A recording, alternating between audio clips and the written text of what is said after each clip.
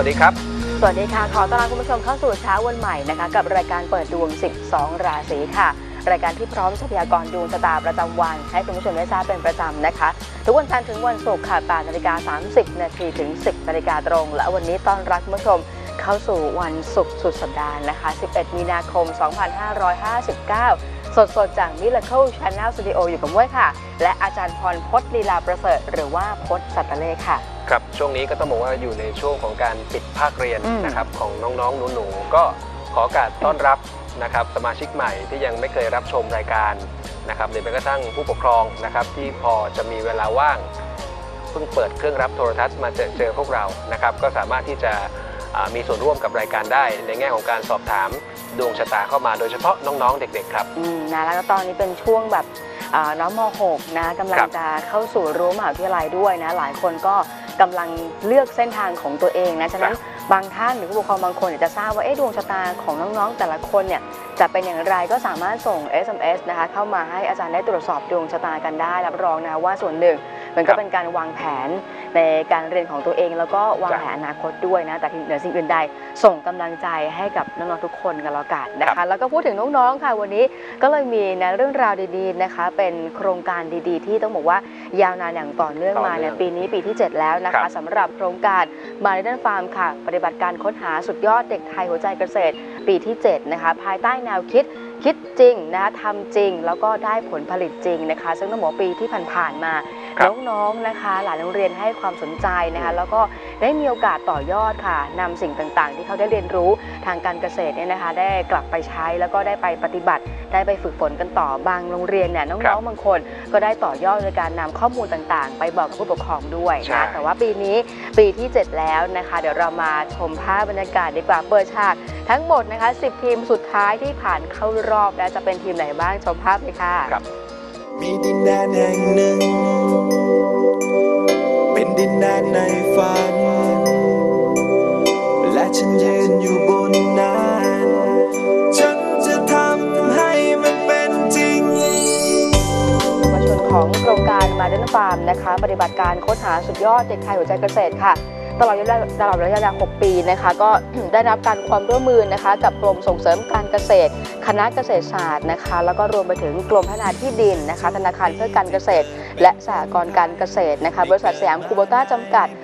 สถานีโทรทัศน์ค่ะ Farm Channel แล้วก็ดาวเทียมนะคะมิ r เคิลชาแนลนะคะที่ได้ร่วมกันสร้างประสบการณ์การเรียนรู้นะคะที่ได้นำความรู้ค่ะการเกษตรแบบครบวงจร ภายใต้แนวคิดนะคะคิดจริง ทำจริงแล้วก็ได้ผลผลิตจริงนะคะ ซึ่งครั้งนี้ก็ได้รับเกียรติค่ะจากคุณโอฬารพิทักษ์นะคะอธิบดีกรมส่งเสริมการเกษตรนะคะที่มาเปิดงานในครั้งนี้ด้วยนะคะ ที่สำคัญเขาบอกว่าน้องๆที่นะคะได้เข้าร่วมกิจกรรม หรือว่าโครงการในครั้งนี้เนี่ยสิทีมด้วยกันนะก็จะมีการแข่งขันนะภายใต้แนวคิดนะการคิดจริงทำจริง แล้วก็ได้ผลผลิตจริงนะคะ รวมไปถึงมีโอกาสลุ้นค่ะทุนการศึกษา 1 0 0 0 0แบาทด้วยนะคะ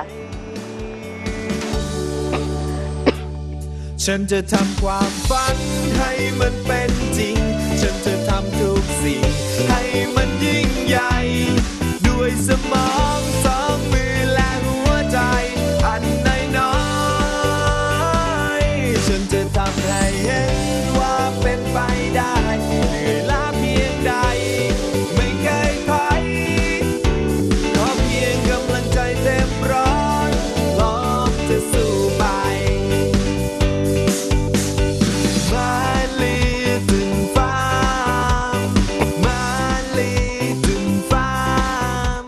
วันนี้ก็มีโอกาสมาร่วมนะฮะเป็นมาเปิดงานของโครงการ My Little Farm เนี่ยนะครับ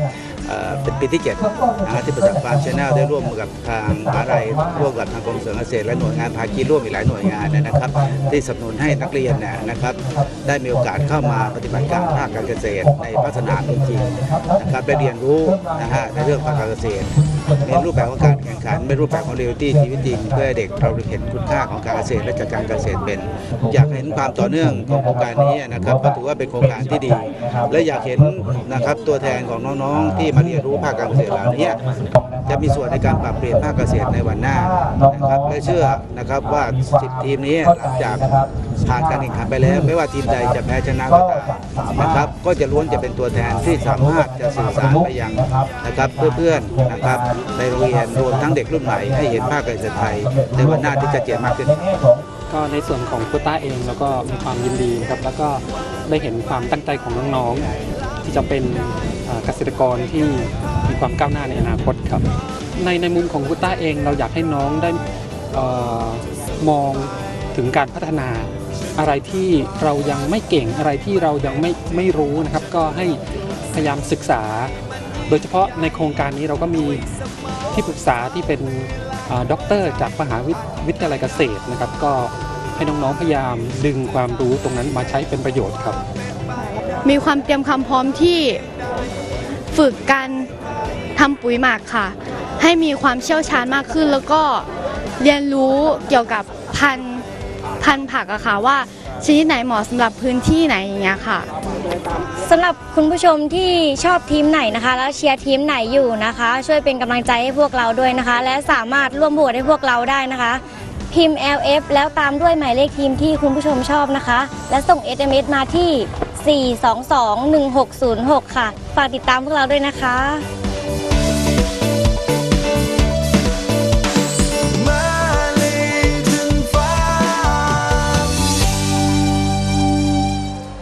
ค่ะคือครัต้อบงบอกว่าเป็นโฉมหน้านะคะ 10 ทีมสุดท้ายที่ผ่านเข้ารอบนะ โครงการมาเล่นฟาร์ม ปฏิบัติการค้นหานะคะ เด็กไทยหัวใจเกษตรนั่นเองนะฉะนั้นคุณผู้ชมเองนะคะ สามารถที่จะร่วมกันนะเป็นกำลังใจให้กับน้องๆได้นะคะ ก็ติดตามรายการได้นะคะสำหรับรายการมาเล่นฟาร์มนะคะออกอากาศทุกวันเสาร์นะถึงวันอาทิตย์นะคะ เวลา9นาฬิกาถึง 10นาฬิกาทาง Miracle Channel นะคะ แล้วก็ติดตามไฮไลท์ได้ค่ะ ในรายการคนไทยหัวใจเกษตรนะคะ ทุกวันจันทร์ถึงวันศุกร์เวลาตีห้ถึงตีห้าครึ่งนะคะ ทางเมอร์นายทีวีนะคะรวมไปถึงนะคะ สามารถติดตามความเคลื่อนไหว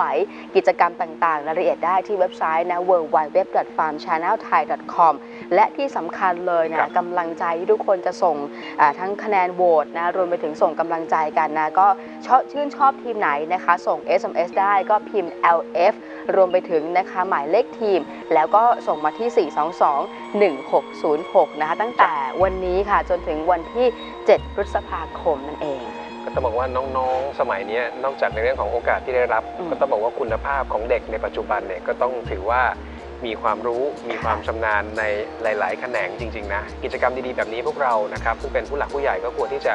ให้การสนับสนุนอืมนะครับ ไม่ทางตรงก็ทางอ้อมครับ นี่แหละเขาบอกว่าต่อไปเนี่ยก็จะได้เป็นเยาวชนนะคะจ้ะเป็นเกษตรกรนะคะ รวมไปถึงได้มีโอกาสได้ต่อยอดให้กับครอบครัวด้วย จริงๆอะมีโอกาสเจอน้องครับๆหลายปีแล้วนะคะ แล้วก็ได้เห็นว่าพวกเขามีความรู้แล้วก็เก็บเกี่ยวความรู้ที่ทางผู้เชี่ยวชาญ รวมไปถึงนะครูบาอาจารย์ทางของโครงการเนี่ยได้ ครับมาแนะนำมาอบรมแล้วแต่ละทีมเนี่ยเขาอืม มุ่งมั่นเขาตั้งใจมากจริงๆ เขาทำเขาทำกันได้จริง ใช่ค่ะ แล้วมันไม่ได้มีแค่เรื่องของการเกษตรเท่านั้นนะแต่เป็นเรื่องของการดูแลการจัดการครับนะรวมไปถึงเรื่องของการจัดทำบัญชีตรงนี้แหละ มันจะเป็นการทำให้น้องๆเขานะได้มีโอกาสนะเรียนรู้ แล้วก็รวมไปถึงสามารถที่จะต่อยอดในอนาคตได้ฉะนั้น ร่วมกันเชียร์นะคะร่วมกันเป็นกำลังใจให้กับพวกเขาได้นะคะ ส่วนวันนี้ค่ะคุณผู้ชมที่มีคำถามนะคะมีเรื่องราวต่างๆ ส่งข้อมูลเข้ามาทาง SMS ได้นะคะ ต้องระบุข้อมูลเข้ามาให้ครบถ้วน พิมพ์ PD ค่ะเว้นวรรคตามด้วยชื่อนามสกุลนะคะ วันวันที่เดือนพศ แล้วก็เวลาเกิด รวมไปถึงคำถามนะ ส่งมาที่ 422-1606 ท่านไหนอยากพูดคุยกันนะ โทรเข้ามาลงทะเบียนได้ค่ะ ที่เบอร์โทรศัพท์ด้านหน้านี้ 02-496-0493 และครับ02-496-0494 นะคะอืมขออนุญาต 1 การลงทะเบียนนะคะ ต่อ 1ดวงชะตาเท่านั้นนะคะจ้ะจะได้พูดคุยกันให้ละเอียดมากขึ้นด้วยนะคะ แต่ว่าตอนนี้ค่ะวันศุกร์สุดสัปดาห์เมื่อวานอาจารย์บอกว่าแป๊บเดียว จะเข้าสู่กลางเดือนอีกแล้วนะฉะนั้นวันนี้เรามาฟังดีกว่าว่าภาพรวม 12 ราศีนะคะ เราต้องระวังอะไรกันบ้างค่ะ แต่วันนี้ใช้ชีวิตด้วยความไม่ประมาทนะครับเนื่องจากในทางโหราศาสตร์เนี่ยถ้าดีถีกับเดือนตรงกันเนี่ยอย่างวันนี้คือขึ้น 4ค่ำเดือน 4 ถือว่าเป็นกระทิงวันนะครับก็เป็นวันแข็ง วันนี้ศุกร์ที่ 11 มีนาคม 2559 ครับ ทิศที่เป็นสิริมงคลก็คืออาคเนหรือตะวันออกเฉียงใต้ ส่วนทิศที่ควรจะหลีกเลี่ยงครับ พายัพหรือตะวันตกเฉียงเหนือ ส่วนทิศที่จะมีคนให้การอุปถัมภ์วันนี้คือทิศประจิม หรือว่าทิศตะวันตกนั่นเอง เปิดหัวด้วยชาวราศีมังกรเหมือนเช่นเคยครับ 16 มกราคมถึง 12 กุมภาพันธ์ วันนี้ประสบการณ์สำคัญกว่าความสด ฉะนั้นวันนี้ควรให้ความสำคัญกับคนที่สูงวัยกว่านะครับ ไม่ว่าเขาจะอยู่ในระดับตำแหน่งไหน การเงินไม่ต้องหน้าใหญ่ใจโตก็ได้ หากช่วยเขาแล้วเราลำบากก็ให้ปฏิเสธ ความรักคู่ที่กำลังมีปัญหาวันนี้ต้องหนักแน่นหน่อยนะครับ แล้วสถานการณ์จะคลี่คลายในทางที่ดีขึ้น สีถูกโฉลกค่ะสำหรับชาวราศีมังกรค่ะ ประสบการณ์สำคัญกว่าพูดได้ง่ายวันนี้เอาเก๋านำนะฮะหาคนพึ่งพาอุปถัมภ์สีชมพูครับ ส่วนสีที่ควรจะหลีกเลี่ยงคือสีเทา ราศีต่อไปนะคะ ราศีกุมค่ะ 13 กุมภาพันธ์ถึง 13 มีนาคมนะครับ วันนี้ในส่วนของการทำงานก็ลุยกันให้เต็มที่นะครับ หาข้อสรุปที่ชัดเจนให้ได้ เถียงกันแต่ความสัมพันธ์ยังคงเดิม การจับจ่ายใช้สอยวันนี้เผื่อเหลือเผื่อขาดไว้หน่อย เพราะมีเกณฑ์ต้องเข้าสังคม งานเลี้ยงสังสรรค์แต่ในทางกลับกันครับ ในส่วนคนที่กำลังรอลุ้นรอฟังผลในเรื่องของการเงินการลงทุนมีโอกาส ความรักทรงๆครับ สีถูกโฉลกค่ะสำหรับชาวราศีกุมค่ะ กระตือรือร้นหน่อยโดยเฉพาะในเรื่องของการทำงานสีเขียว ส่วนสีที่ควรจะหลีกเลี่ยงคือสีน้ำตาล ราศีต่อไปนะคะ ราศีมีนค่ะ 14 มีนาคมถึง 12 เมษายนครับ วันนี้ในส่วนของการทำงานต้องบอกว่าอาจจะชีพจรลงเท้านะครับ มีเกณฑ์เดินทางหรือต้องรับผิดชอบงานที่มีลักษณะที่กดดันพอสมควรแต่ภาพรวมวันนี้ถ้าคุณอ่าไม่ท้อนะครับ ผ่าน การเงินเหมาะสำหรับการแบ่งปันบริจาคทำตามกำลัง ความรักทำดีได้ดีครับ อยากให้คนรักเป็นเช่นไร ก็ให้ทำในสิ่งนั้นก่อนสีถูกโฉลกค่ะสำหรับชาวราศีมีนค่ะเหนื่อยกายแต่ไม่เหนื่อยใจในส่วนของการทำงานนะครับ เสริมให้มีความเพียรวิริยะอุตสาหะกับสีชมพูครับ ส่วนสีที่ควรจะหลีกเลี่ยงคือสีควันบุหรี่ราศีต่อไปนะคะ ราศีเมษค่ะ 13 เมษายนถึง 13 พฤษภาคม เหมาะสำหรับการทำงานเป็นทีมมากกว่าเป็นศิลปินเดี่ยวนะครับ วันนี้ต้องบอกว่าเพื่อนร่วมงานค่อนข้างที่จะ support ความรักอย่าใช้เงินเกินตัว ในส่วนของการลงทุนเนี่ยก็เหลือไว้ถ่วงน้ำหนักบ้าง ต้องมีการบริหารความเสี่ยง ความรักเน้นไปที่คนมีคู่ครับ ระวังจะมีปัญหากันในเรื่องของเวลา สีถูกโฉลกค่ะสำหรับชาวราศีเมษค่ะ หลักทรัพย์เงินทอง สีเหลืองเข้ม ส่วนสีที่ควรจะหลีกเลี่ยงคือสีแดง ราศีต่อไปนะคะ ราศีพฤษภค่ะ 14 พฤษภาคมถึง 13 มิถุนายนครับ วันนี้เรื่องงานอย่ามัวแต่คอยฟ้าคอยฝนนะครับ หรือว่าจะรอลาบผล วันนี้เก็บเล็กผสมน้อยครับ ค่อยๆ เริ่มต้น คนทำธุรกิจก็เช่นเดียวกัน การเงินการลงทุนวันนี้ขอให้เชื่อในการตัดสินใจตัวของตัวเองเป็นหลัก รับฟังคนอื่นได้ครับ แต่การตัดสินใจขั้นสุดท้ายขอให้เป็นตัวเรา ความรักคนที่มีปัญหามานานวันนี้ต้องหลีกเลี่ยงการปะทะนะครับ สถานการณ์มีโอกาสที่จะแย่ลง แต่สิ่งที่อยากจะฝากอีกหนึ่งเรื่อง วันนี้ดูแลสุขภาพตัวเองให้ดีสีถูกโฉลกค่ะสำหรับชาวราศีพฤษภค่ะ เสริมให้มีสุขภาพพรานามัยที่แข็งแรงสีเลือดหมู ส่วนสีที่ควรจะหลีกเลี่ยงคือสีน้ำตาล ราศีต่อไปนะคะ ราศีเมถุนค่ะ 14 มิถุนายนถึง 14 กรกฎาคมครับ วันนี้ในส่วนของงานต้องบอกว่ามีโอกาสประสบความสำเร็จนะในสิ่งที่ทำไม่ว่าคุณทำธุรกิจหรือทำงานประจำก็ตาม การเงินต้องไวหน่อยครับ ฉะนั้นในแง่ของการเตรียมความพร้อม ทั้งในเรื่องของทุนรอนรวมถึงข้อมูลข่าวสารวันนี้จำเป็น ถ้าไม่พร้อมวันนี้อย่าขยับ ความรักให้มองไปข้างหน้าครับ อะไรที่ผ่านแล้วให้ผ่านเลย แม้คนที่เพิ่งผิดหวังก็อย่าปิดตัวเองสีถูกโฉลกค่ะสำหรับชาวราศีเมถุนค่ะ ผมให้ความสำคัญกับเรื่องของชีวิต เสริมให้มีความมั่นคงเป็นหลักเป็นฐานกับสีฟ้า ส่วนสีที่ควรจะหลีกเลี่ยงคือสีชมพูครับ ราศีต่อไปนะคะ ราศีกรกฎค่ะ 15 กรกฎาคมถึง 16 สิงหาคมครับ วันนี้คนทำธุรกิจก็มีโอกาสได้รับเงื่อนไข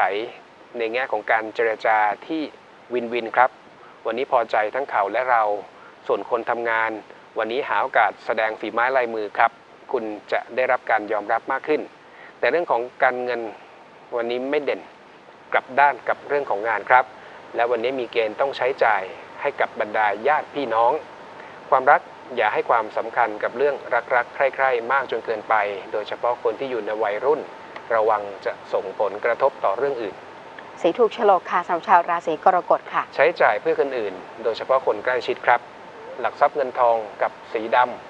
ส่วนสีที่ควรจะหลีกเลี่ยงคือสีน้ำเงิน ราศีต่อไปนะคะ ราศีสิงค์ค่ะ 17 สิงหาคมถึง 16 กันยายน อย่าให้ความสำคัญกับผลสำเร็จของงานมากจนเกินไป วันนี้การมีปฏิสัมพันธ์กับคนรอบข้างก็เป็นเรื่องที่จำเป็น อาจต้องหมุนอาจต้องใช้ฝีมือ ผมหมายถึงในเรื่องของการเงินการลงทุน วันนี้ทุกอย่างไม่ได้โรยด้วยกลีบกุหลาบ ความความรักถ้ามีโอกาสได้เจอเจอ ก็มีเกณฑ์พัฒนาความสัมพันธ์ต่อไปได้ สีถูกโฉลกค่ะสำหรับชาวราศีสิงค์ค่ะ เสริมเสน่ห์ฮะวันนี้ถ้าเจอแล้วดี สีเขียว ส่วนสีที่ควรจะหลีกเลี่ยงคือสีเทา ราศีต่อไปนะคะ ราศีกันค่ะ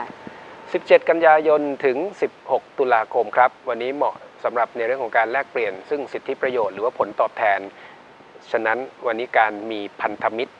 การสร้างคอนเน็ชันสำคัญ แต่ในเรื่องของเงินทองละเอียดหน่อย วันนี้ระวังปัญหาในเรื่องของพวกเอกสารสัญญานะครับ ก่อนจะลงนามอะไร เสียเวลาอ่านให้ครบถ้วน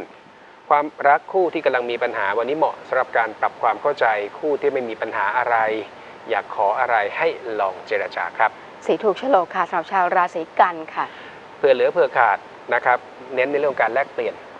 สีขาว ส่วนสีที่ควรจะหลีกเลี่ยงคือสีบรอนซ์ทอง ราศีต่อไปนะคะ ราศีตุลค่ะ 17 ตุลาคมถึง 15 พฤศจิกายนครับ เหมาะกับการขอแรง ขอความรู้ ขอความร่วมมือ ขอความช่วยเหลือครับ ในส่วนของการทำงาน แต่วันนี้การเงินไม่เด่น มีเกณฑ์เสียทรัพย์ จ่ายมากกว่ารับ และไม่เหมาะกับการลงทุนหรือเสี่ยงโชคทุกประเภท ความรักก่อนจะเข้าหาใครให้ประเมินดูความเป็นไปได้ มีมากน้อยแค่ไหน สีถูกโฉลกค่ะสำหรับชาวราศีตุลค่ะ แต่ตุลวันนี้ผมก็เสริมสุขภาพอีกหนึ่งราศีนะกับสีบรอนซ์ทองครับ ส่วนสีที่ควรจะหลีกเลี่ยงคือสีครีม ราศีต่อไปนะคะ ราศีพิจิกค่ะ 16 พฤศจิกายนถึง 15 ธันวาคมครับ วันนี้ในส่วนของงานอิดอัดหน่อย เบื่อบ้าง ต้องทำใจครับ เพราะมีโอกาสได้มาหรือต้องทำในสิ่งที่ไม่พึงปรารถนา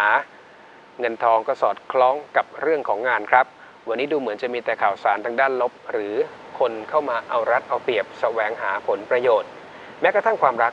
ต้องระวังในเรื่องของคำพูดนะครับ ต้องมีวาทศิลป์ในการเจรจาไม่ว่า